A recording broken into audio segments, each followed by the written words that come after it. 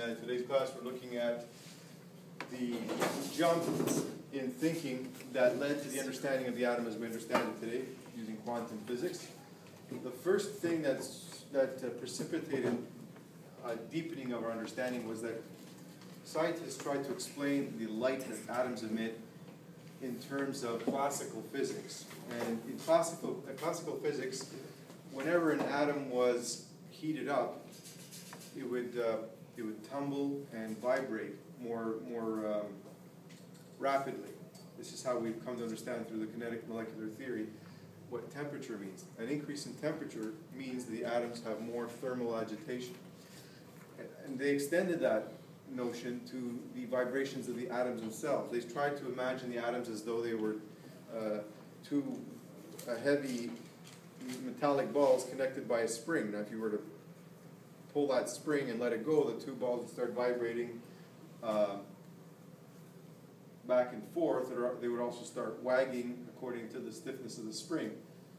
But that explanation was not sufficient when it came to explaining the wavelengths that are emitted in the ultraviolet spectrum. When they tried to explain, when they tried to predict how many, um, um, how much light would be emitted by a black body radiation, the theory failed spectacularly. In fact, they called it the ultraviolet catastrophe. So laws of classical physics failed spectacularly when applied to predict the emission of ultraviolet light. This was called the ultraviolet catastrophe. Fortunately, Max Planck had discovered an equation that accurately predicted the wavelengths and intensity of emitted light for a black body. And the way he was able to predict accurately what, what kind of ultraviolet light would be emitted by a black body was to use the idea that uh, light is composed of photons. So there are discrete small packets of energy that are emitted whenever light is, is um, irradiated, irradiated from a source. So depending on what orbital an electron is kicked out of, it re-emits a photon as it decays back to its ground state. Once they made this quantum leap in thinking, they were able to uh, start developing tenable explanations for why for example, hydrogen had a, a spectrum with four lines in it, and why the lines were of a certain color. Planck, Planck, Max Planck found that the energy of any given photon is related to its frequency according to the equation E is equal to h nu, where nu is the frequency of the radiation, h is Planck's constant, and E is the energy in uh, joules. So you can find out the uh, energy content of any single photon if you know its frequency. So I asked the question here, what is the energy content of a 350 nanometer photon, which is corresponding to ultraviolet light, compared to a 750 nanometer photon, which corresponds to the infrared side of the spectrum. So neither one of those two photons are visible to the human eye, and one is on one end of the spectrum, the other one is on the other end of the spectrum.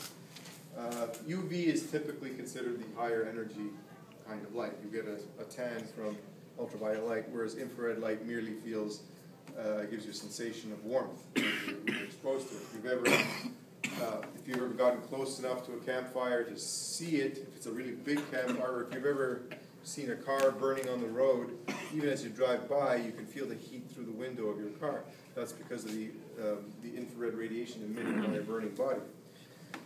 So we did a calculation here to, to determine what the energy content of a single photon of both 350 nanometer wavelength and 750 nanometer wavelength. So the longer wavelengths are normally associated with a lower energy content, but let's prove it mathematically. So I found the frequency of the wave of the radiation by using C is equal to lambda nu. I rearranged the equation to find the, the frequency. I should have done this part first, but I didn't realize it until after I wrote it. So you would probably want to write this part first in your notes and then this line second, although it's not the end of the world if you do it the same way I did. Anyway, here's the speed of light divided by the wavelength of the uh, light in nanometers. Notice how I convert it to meters. So it's 350 times 10 to the minus 9 because nanometers is a billionth of a meter. And it gives you a frequency of 8.5 times 10 to the 14 hertz. That's a very high frequency, 10 to the 14 vibrations per second. For the second photon, we have to move to the second blackboard, or whiteboard rather, uh, the uh, wavelength is 750 nanometers. And when we rearrange the equation, we get almost 4 times 10 to the 14 hertz. So I plug that into the equation E is equal to h nu, using Planck constant, multiplying the constant, which is in joules per hertz, times hertz. The hertz cancel. and we get that the uh, infrared photon has an energy of 2.64 times 10 to the minus 19 joules, while the uh, ultraviolet photon has uh, twice the energy content, 5.67 times 10 to the minus 19 joules. The, U the UV photon then has twice the energy of the infrared photon. Back in 1905, Einstein published a paper that explained the photoelectric effect. It was one of the three papers that he published that uh, uh, should have merited him the Nobel Prize. I think he got one for the theory of relativity. But all three of the papers that he published in 1905 were, were uh, Nobel Prize material. The photoelectric effect is, is the, a phenomenon that occurs that when you shine light on certain metals, they emit electrons. Uh, the, the, the, two particularly sensitive metals for that are rubidium and cesium. Metals are more susceptible of losing electrons, but rubidium and cesium are particularly easy to get to lose electrons by shining light on them.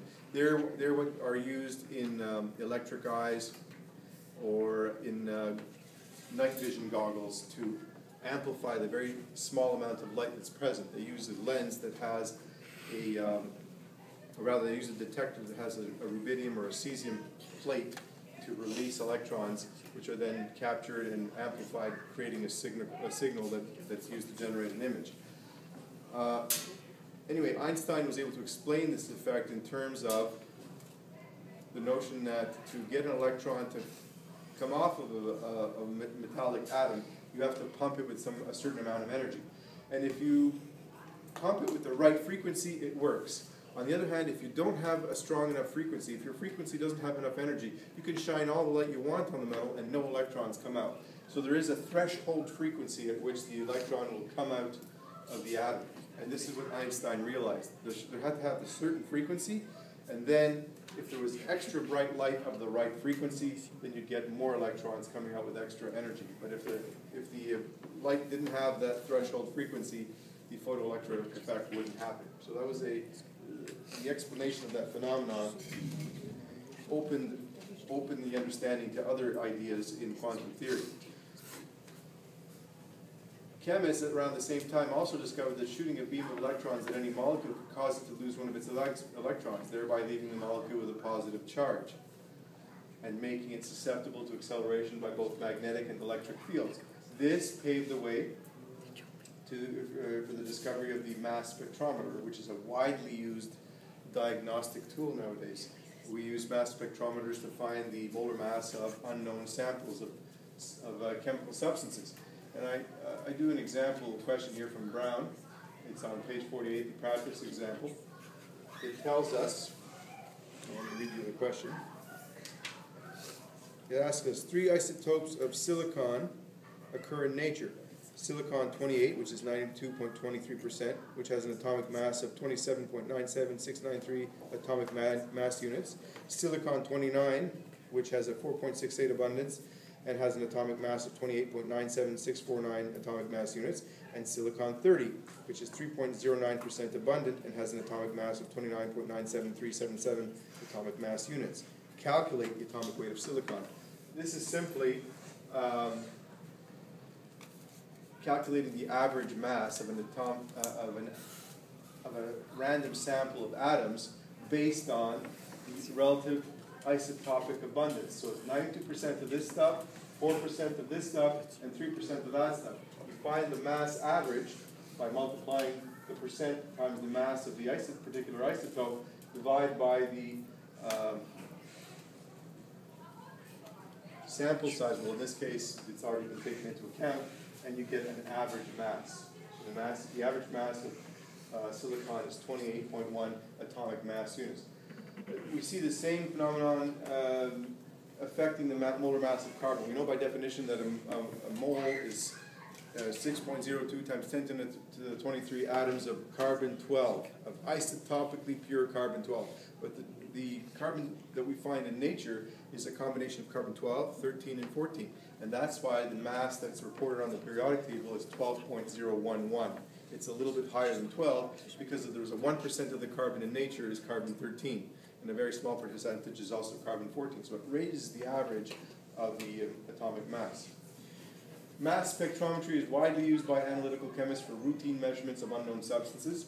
So, uh, for example, let's do another question where we have a sample of 101 atoms, and five of those atoms weigh 176, 19 of the atoms weigh 177, 28 of the atoms weigh 178, 14 of the atoms weigh 179, and 35 of the atoms weigh 180.